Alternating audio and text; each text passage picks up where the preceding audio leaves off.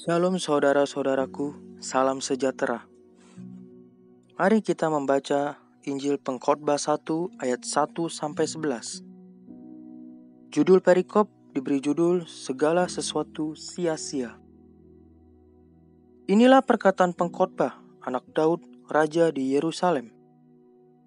Kesia-siaan belaka, kata pengkhotbah, kesia-siaan belaka. Segala sesuatu adalah sia-sia Apakah gunanya manusia berusaha dengan jerih payah di bawah matahari? Keturunan yang satu pergi dan keturunan yang lain datang, tetapi bumi tetap ada.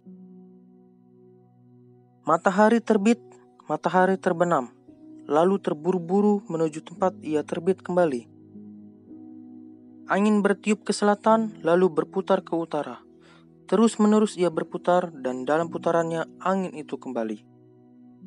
Semua sungai mengalir ke laut, tetapi laut tidak juga menjadi penuh. Ke mana sungai mengalir, ke situ sungai mengalir selalu.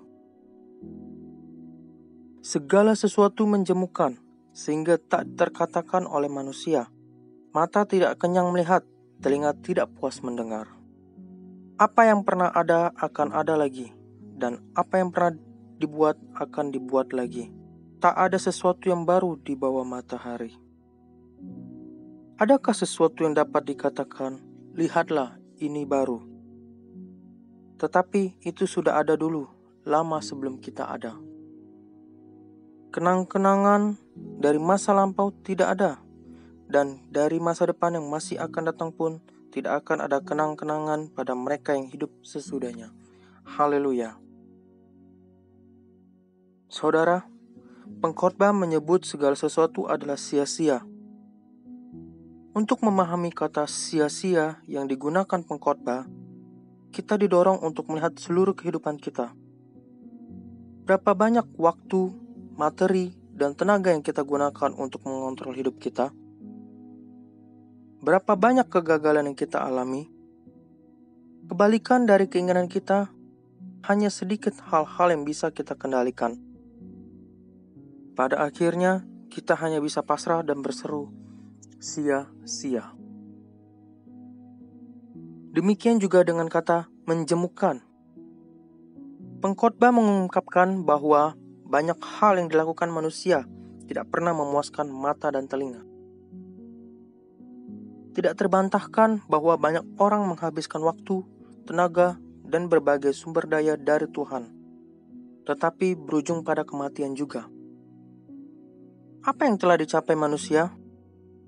Akhirnya tidak dapat dinikmati lagi karena datangnya kematian. Satu generasi mati dan digantikan generasi berikutnya. Namun tidak ada yang tersisa. Kenangan pun tidak ada karena tidak ada yang mengingat dan mengenang mereka. Pandangan pesimis pengkhotbah juga menggambarkan manusia di masa sekarang ini. Banyak orang bersikap pesimis dalam hidup dan tidak mempunyai harapan. Bagi manusia seperti ini semua terasa membosankan, bahkan memuakkan. Perikop ini mengarahkan kita untuk menghargai apa yang Allah anugerahkan. Ada peringatan keras bagi kita yang berusaha mengambil alih kendali hidup. Kita mesti mengetahui bahwa itu semua berada dalam kendali Tuhan, bukan kita. Peringatan ini menjadi alasan bagi kita untuk mengalami pertobatan dan pembaharuan cara hidup. Apakah hidup kita akan sia-sia atau menjemukan? Kita sendirilah yang memilih jalannya. Jika hidup adalah anugerah Tuhan, maka cara hidup yang benar adalah menerimanya dengan rendah hati dan menjalankannya dengan setia kepada Tuhan. Kita harus bersyukur, saudara-saudara, atas anugerah yang diberikan Tuhan dalam hidup kita. Mari kita mengelola hidup dengan tulus dan sungguh-sungguh sehingga hasilnya tidak menjadi sia-sia. Haleluya. Amin. God bless you.